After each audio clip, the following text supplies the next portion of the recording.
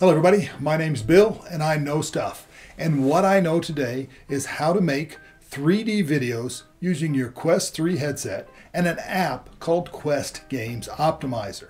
Now this also works for the Quest 2, it just doesn't have very good pass-through video. Quest Games Optimizer was designed to make games look and run better, and it does a bang up job of that. However, it has an added benefit and lets you record side by side video on the headset. That's your left and your right eyes. And with that, you can create 3D videos, and it is super easy to do. Once you've loaded up Quest Games Optimizer on your headset, it's a matter of clicking a few buttons and you're recording side by side video. It works for pass through, mixed reality, or game video. And when you're done, you don't have to do anything else. You can watch it immediately and it's in 3D. You'll watch it right on your headset. I'll even show you how to do it. There is one caveat to this. If you want to edit the video or edit together with other things and upload it, you will have to re-encode it when you're done. And I'm going to show you how to do that real quick. Also, I'll use Shotcut to edit and then encode it very quickly. And then we'll be able to upload it to YouTube as a 3D video. So anything you do on the headset, you can record as 3D and upload it or watch it. Up to you let's jump in and get this started. All right, before you start recording, you want to open up Quest Games Optimizer. Once the optimizer's open, click the three little bars up in the top corner. Go to Video Capture Settings. And we're going to go through these one by one. So, eye selection, you want side by side for 3D capture. Capture definition uh, is up to you. I usually use 2160. That'll let you record up to a 4K video.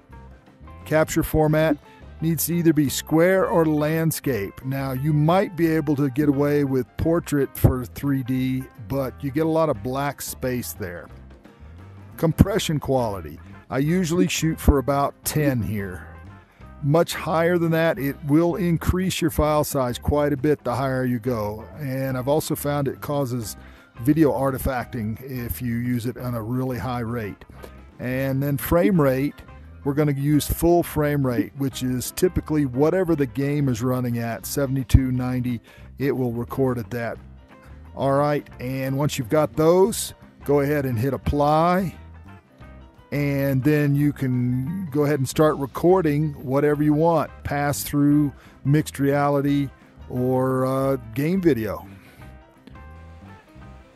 we're going to be using Shotcut to edit the clip. You can use any video editor that you want. It's not dependent on Shotcut, and most of them, DaVinci, will let you do the same thing I'm going to be doing here.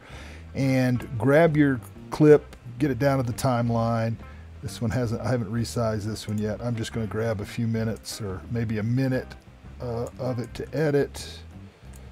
Let's see what we got. Yeah, I don't need more than that. Real quick. All right, that looks good. And I'm going to select the clip. I'll go to properties here and check your resolution to see what that is. This will, you'll need this for handbrake, but right now I did 2160, so this is going to be 4K video. And the aspect ratio is 16 by 9. I'm going to change that right here when I redo this clip. I want it 4 by 3. The reason that is is uh, the Quest actually records best in a 4 by 3 format, and it, you can convert it, but uh, it uh, still looks best in 4 by 3 So that's what we're going to do. You'll end up with these bars here. You do not have to worry about those. And that's all you really have to do. You're going to do any other editing you want, but for our purposes, what you need to know is change that aspect ratio, and we're just going to export it as an MP3 file. So we'll call this Demio MR and 4 times 3 just so we are clear what it is. And we have to let it run. It'll take a few minutes. And when we come back, we'll be able to convert that using Handbrake and be ready to go. All right, the edit is done, and I'm going to take a quick look and make sure that works the way I expect it to. Called it Demio MR 4.3. Let's look at that real quick. It's working just fine. And we're done with Shotcut at this point. And we're going to go ahead and open up Handbrake.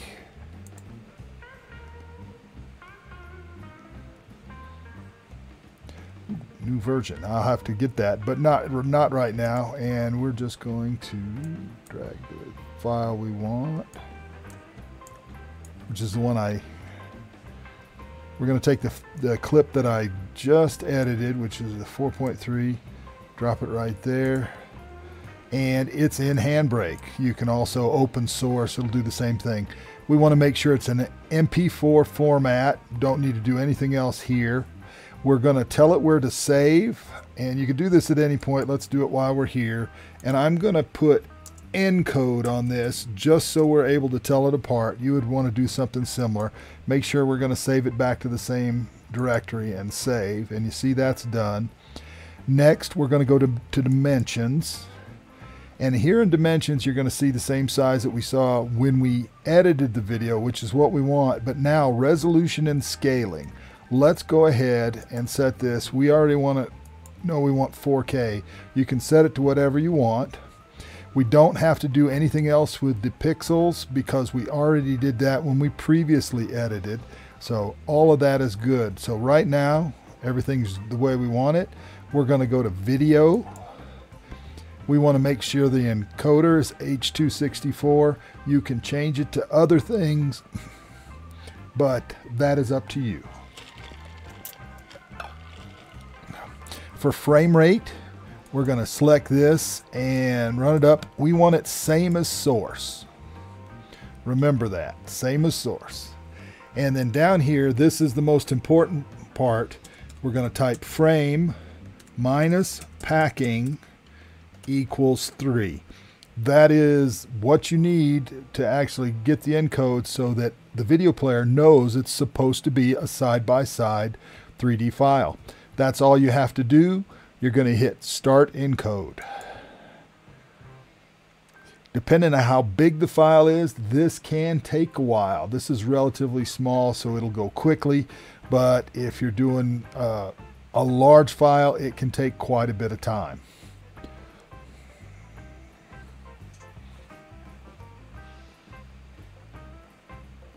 All right, the encoding has finished uh, nothing happens. And let's go look at the file real quick. let me refresh that.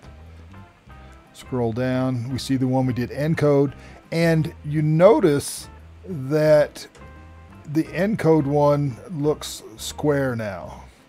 And there's a reason for that. And that was the whole purpose of doing that encode um, when we do it. So if you open it up and you look at it, it's same looks like the same clip as the other one, but the video player will know the difference. Now we're going to go ahead and copy both of these. And normally you would just keep the one that you want to play on your headset, but in this case I'm going to transfer them both back over to the headset so that we can look at them and you can see the difference.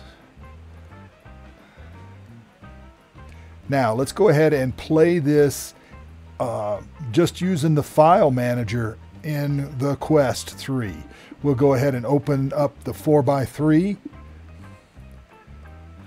and it starts playing. You see it's got the little 2D down there. Click on that and you'll see 3D side by side. Select that and then it goes into the 3D mode, only it don't look right. This is where the encoding comes in. So let's go ahead and stop that one. I'll just close it out. Let's go ahead and open up the 4x3 encode. Make sure we're in 3D side by side. And there you go. It looks great, quite frankly. And this works. This is mixed reality, but it works on the pass-through video. It works on game videos. Any way you want to do it, it works just fine. So if we uploaded this clip to YouTube VR, you'd be able to see it there. You'll be able to see it in 3D. That's how you use your Quest 3 or your Quest 2 Quest Games Optimizer a video editor, and then Handbrake to create Let's get those spatial 3D videos. All right, everybody, I hope that was helpful for you. If it was, please hit that like button. I can use all the friends I can get. Maybe think about subscribing. I'm Bill. I know stuff. Y'all have a good day. Bye now.